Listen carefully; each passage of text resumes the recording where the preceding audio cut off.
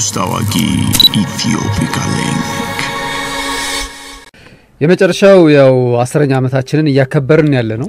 ኢትዮፒካ ሊንክ ከተመሰረተ አስር ዓመቱ አክብሯል።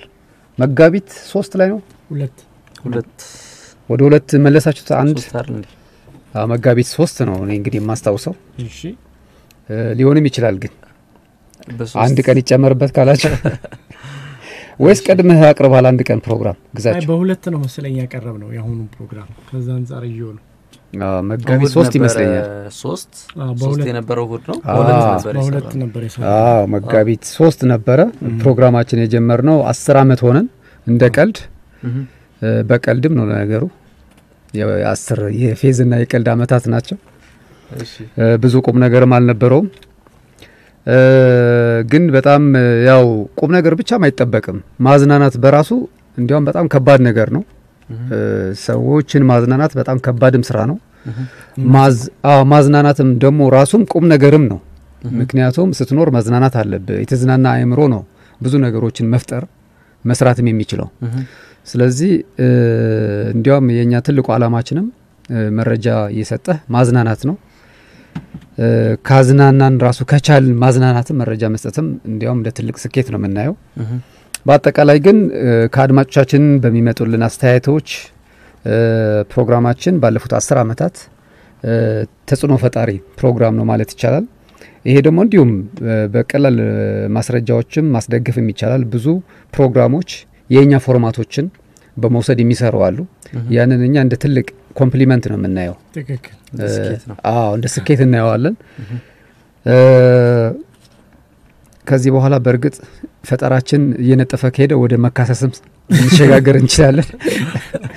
እስካሁን ድረስ ግን ምንም የፈጠራ ችግር ስላላጋጠመን አዳዲስ ፕሮግራሞች፣ ፎርማቶች የመፍጠር ወደ መክሰስ ይሄ የኔ ነው የእኛ ነው ይሄን ማቆም አለባቸው ወደሚል አልገባንም። አሁን ግን ያው እድሜያችንም እየሄደ ነው። የፈጠራ የፈጠራ ችሎታችንም እየቀነሰ ነው የሚሄደው። ስለዚህ ያው ወደ ፍርድ ቤት ልንመላለስ እንችላለን ከዚህ በኋላ ማለት ነው። ስለዚህ አሁን ዛሬ ይፋ የምናደርገው ፕሮግራማችን አንድ መኮ እንዳይሰረቅ ነው እንዳይወሰድ ነው ይሄ መግቢያው። ስለዚህ አስረኛ ዓመታችንን ምክንያት በማድረግ እስካሁን ድረስ ቀለል ያሉ የአከባበር ስነ ስርዓቶች ነበሩ። ብዙ ነገር እናስብ ነበረ። እንደግስ የሚባል ብዙ ሰው በተለይ ከሆድ ጋር በተያያዘ ድግስ ላይ ከፍተኛ አዎ ከፍተኛ ጫና ነበረ።? እንደግስ እንደግስ እንብላ እንጠጣ የሚል አይ ግድ የላቸውም ከምንደግስ የሆነ ሌላ ነገር ብናደርግ ይሻላል ወደሚል መጥተናል። ስለዚህ የፕሮግራማችን አስረኛ ዓመት ምክንያት በማድረግ አድማጮቻችን የሚያሳትፍ አዲስ ፕሮግራም ነው ዛሬ ይፋ የምናደርገው። ይሄ ፕሮግራም ርዕሱ ምንድን ነው የሚሆነው? ሚጢጢ በጀት ለማጀት የሚባል ነው። ሚጢጢ በጀት ለማጀት ከርዕሱ ማወቅ እንደሚቻለው ያው ሰዎች በቤታቸው ሆነው የሆነ ሀሳብ ይኖሯቸዋል መስራት የሚፈልጉት ግን ለዛ ደግሞ ገንዘብ የላቸውም። ስለዚህ ያቺ ሚጢጢ በጀት የሚያገኙበት እድል ካገኙ ቤታቸው ሆነው ያላቸውን ሀሳብ እንዲሰሩና በዛ ራሳቸው ሀሳባቸውን ስራቸውን እያዳበሩ እንዲሄዱ እኛ እንደ ምክንያት ለመሆን ነው የመረጥ ነው ማለት ነው።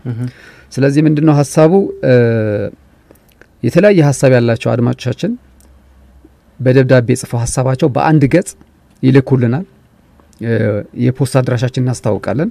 በፖስታ ቤት የምናደርግበት ምክንያትም አለን። ለሁሉም ሰው ተደራሽ ለመሆን ነው። ኢሜይል እንደዚህ ፌስቡክ ላይ inbox አድርጉልን እንደዚህ የሚል ከሆነ ያው ምንፈልገውን ያህል አድማጭ ላናገኝ እንችላለን። የተወሰኑ የኢንተርኔት access ያላቸው ፍላጎቱ እያላቸው የማይጠቀሙ ስላሉ ሁሉም ሰው ደብዳቤ ጽፈው ቢቻል በኮምፒውተር ቢያጽፈው ጥሩ ነው፣ የበለጠ ተነባቢ እንዲሆን። ካልሆነ ግን በጥሩ የእጅ ጽሁፍም ከተጻፈ ምንም ችግር የለም። በፖስታ አድራሻችን እንዲልኩልን ነው የምፈልገው። እኔ ይሄ ሀሳብ አለኝ ቤቴ ሆኜ ልሰራው የምችለው። ስለዚህ እችን በጀት እቺ ሚጢጢ በጀት ከሰጣችሁኝ ይሄንን ማሳካት እችላለሁ የሚል በደንብ ማራኪ በሆነ ሀሳቡን በጥሩ ሁኔታ ጽፈው እንዲልኩልን ነው የምናደርገው። ስለዚህ ከነዛ ሶስት እንመርጥና ሶስት ጥሩ ሀሳቦች መርጠን ተጨማሪ ማብራሪያ የሚያስፈልገው ከሆነ እነዛ ሶስት አድማጮች ወደ ስቱዲዮ እንጋብዛቸዋለን። በአካል አግኝተን በአካል አግኝተን ሀሳባቸው የበለጠ ያብራራሉ። ከዛ በኋላ ከሶስቱ አንዱ አሸናፊ የሆነው ሚጢጢ በጀቷ ትሰጠዋለች ማለት ነው። ከዛ ያቺ የሚጢጢ በጀት ከተሰጠ በኋላ ግን ያንን ስራው እንዴት ያስኬደዋል ግን ክትትል ይኖራል ደግሞ ሪፖርት ያደርግልናል። እኛም በአካልም ሄደን ልንጎበኘውም እንችላለን የሚሰራው ስራ። ከዛ በኋላ ያ ሰው ስራውን በደንብ እያስፋፋው ከሄደ ምናልባት ደግሞ እገዛ የሚያስፈልገው ከሆነም እኛም ደግሞ ልናግዘው እንችላለን። በኋላ ራሱ ችሎ ደግሞ ሌሎች ሰዎችም እንደሱ አይነት እድል እንዲያገኙ የሚጢጢ በጀት አካልም ሊሆን ይችላል። ደግሞ እሱም መጥቶም ሌላ ጊዜ ሊመድብም ይችላል ሌላ ሰው ደግሞ ያንን እድል እንዲያገኝ እሱ የተሻለ ህይወት ውስጥ የተሻለ ስራ ውስጥ ገብቶ ማለት ነው። ስለዚህ ሚጢጢ በጀቱ አስር ሺህ ብር ነች። በአስር ሺህ ብር ሊሰሩት የሚችሉት ሀሳብ ያላቸው አድማጮቻችን ደብዳቤ ጽፈው ይልኩልናል። ከዛ ከመጡት ሀሳቦች አሳማኝ የሆኑ ሶስት መርጠን ነው እንግዲህ ሶስቱም እዚህ ጋብዘን የበለጠ አብራርተው ከዛ በኋላ የሚመረጠው አንዱ አስር ሺህ ብር በጀቱን ያገኛል። ከዛ ሁለቱ ደግሞ ሁለተኛና ሶስተኛ የወጡት ደግሞ ለሚቀጥለው ዙር ተወዳዳሪ ሆነው በቀጥታ እንዲያልፉም እናደርጋለን። ምክንያቱም የተመረጡት ስለሚሆኑ ማለት ነው። ስለዚህ የመጀመሪያው እቺ ሚጢጢ በጀት ለማጀት የምንላት አስር ሺህ ብር ኢትዮፒካ ሊንክ ነው የሚመድበው።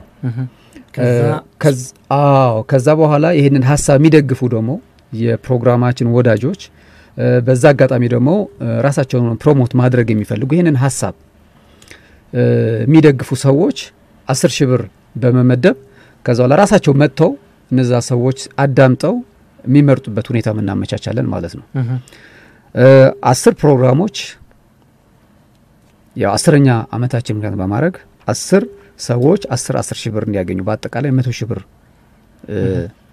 ለአስር ሰዎች የመስጠትና እነዚ አስር ሰዎች ደግሞ የሚፈልጉትን ነገር እንዲሰሩ የማድረግ ስራ ነው የምንሰራው ማለት ነው። ከዛ በኋላ ስፖንሰሩ የማግኘት እድሉም እየሰፋም ከሄደ ልንቀጥለው እንችላለን። አስሩ ግን በእርግጠኝነት እንደምንም ብለን የምንሰራው ነገር ይሆናል። አዎ እናሳኳለን ማለት ነው። ስለዚህ በሚጢጢ በጀት ለማጀት መሳተፍ የሚፈልጉ ሀሳብ አለኝ ያቺ ሀሳቤን ደግሞ በአስር ሺህ ብር መጀመር እችላለሁ፣ በዛ መቋቋም እችላለሁ የሚሉ አድማጮቻችን ሀሳባቸውን በአንድ ገጽ በፖስታ አድራሻችን በ23 2 32 ኮድ 1000 በፖስታ አድራሻችን በ23 2 32 ኮድ 1000 እህ፣ ለኢትዮፒካ ሊንክ ፕሮግራም 23 2 23 2 52 32 ነው ያልኩት። ይቅርታ 23 2 52 ያው ፖስታ ከተጠቀም በጣም ረጅም ጊዜ ሆነናልና ጠፍቶናል ቁጥሩ ራሱ እሺ፣ 23 2 52 23 2 52 ኮድ 1000 እህ፣ ብለው ይጻፉልን። በአንድ ገጽ ነው መጻፍ ያለበት። ከዛ በኋላ ሶስት መርጠን ከሶስቱ አሸናፊ የሆነው live እዚህ ፕሮግራም ላይ ይፋ በማድረግ አስር ሺህ ብር የመጀመሪያው ዙር አዎ ቀነ ገደብ ውስጥ የሚልኩት እስከ መቼ ነው? ወደፊት እንዳስፈላጊነቱ ሁለት ሳምንት ይችላል። ግን ሁለት ሳምንት ያንሳል ብሬ የዛሬ ሳምንትም እንድንደግመው ብዬ ነው። ከሰኞ እስከ አርብም እንደግመዋለን። አንድ ወር ጊዜ ውስጥ የዛሬ ሳምንትም እንደግመዋለን። ከዛ ለሚመጡት በሁለት ሳምንት የሚመጡትን አይተን በቂ ከመጣ ከነዛ መሀል ሶስት መርጠን እናቀርባለን። ከዛ ከሶስቱ አንዱ አሸናፊ አስር ሺህ ብሩን ያገኛል። የበጀት አለቃቀቁ ጉዳይ አስር ሺህ ብሩ አንድ የሚለቀቅበት ሁኔታ ላይኖር ይችላል። የተወሰነ percent መጀመሪያ ነው የሚለቀቀው። እሺ ከዛ ቀጣይ ስራው እየታየ ሂደቱ እየታየ ሁለተኛው phase ይለቀቃል። እሱ እንግዲህ ሀሳቡ ነው የሚወስነው። አሁን ለምሳሌ ሀሳቡ የመጀመሪያው ራሱ አስር ሺህ ብር የሚፈልግ ከሆነ አስር ሺህ ብር ሊሰጠው ይችላል። አሳማኝነቱ ይታያል። ሰው የሰው የሚያመጣው ሀሳብ ማለት ነው። ግን ስራውን ሳይሰራ በዛው በአስር ሺህ አዎ ክትትሉም አለ ብለናል። ስለዚህ እሱ ያው የአፈጻጸም ሁኔታ ነው የሚሆነው። ከዛ በኋላ እንግዲህ አንተ አስፈጻሚ ቦርድ ውስጥ ትገባና ትከታተለዋለህ። ዮናስ ዮናስ አለ ለዚህ አዎ፣ ለማንኛውም ግን ሚጢጢ በጀት ለማጀት ይፋ አድርገናል። በ10 ሺህ ብር የሆነ ስራ መስራት የምትፈልጉ ሰዎች ጻፉልን። በ23 252 ኮድ 1000 ፖስታ አድራሻችን በጣም ጥሩ። ውስጥ አዋቂ ወሬዎቻችንን ጨርሰናል። ገና ይቀረናል።